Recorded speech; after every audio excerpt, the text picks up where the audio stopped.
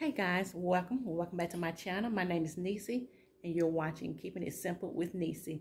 I just wanted to come on quickly and show you um, just a little haul from the meat market. I went to the meat market and picked up two chicken bundles from my local meat market. So I'm going to turn the camera around and show you what I got. So right here is the flyer that has all of the bundles on it that you can choose from.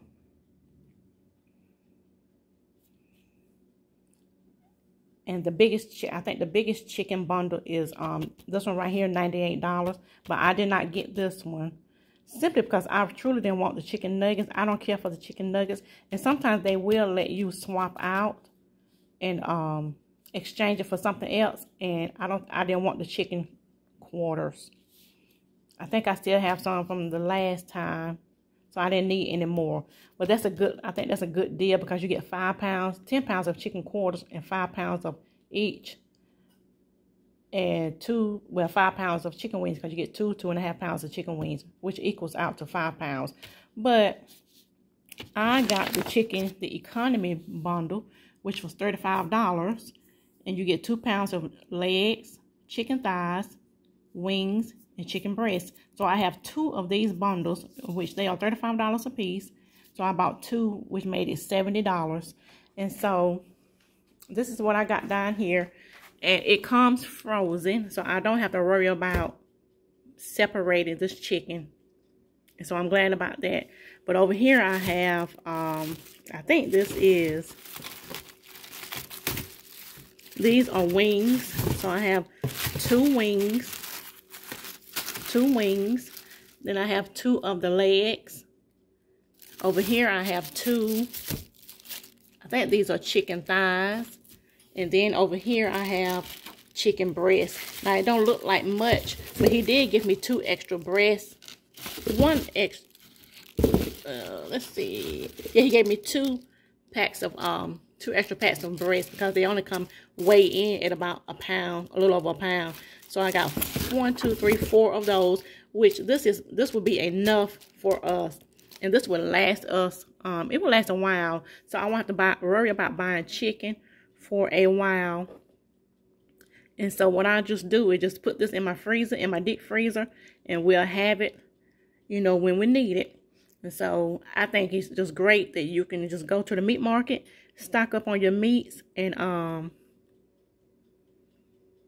you know, trying to save money like that. Um,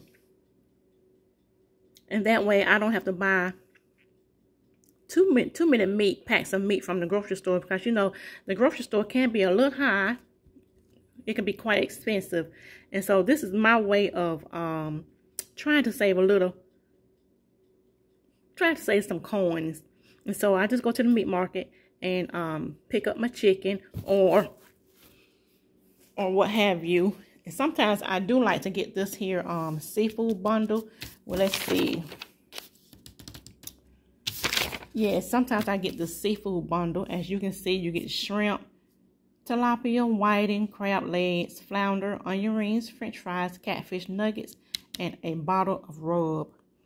And I have gotten um, this I have gotten this 25 pound meat bundle, which is all red meat. You get the ground beef, sausage, pork chop, cube steak, and beef stew.